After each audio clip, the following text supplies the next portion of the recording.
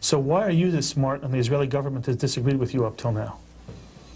If I began to understand the government of Israel, I would be in deep, deep trouble. Okay.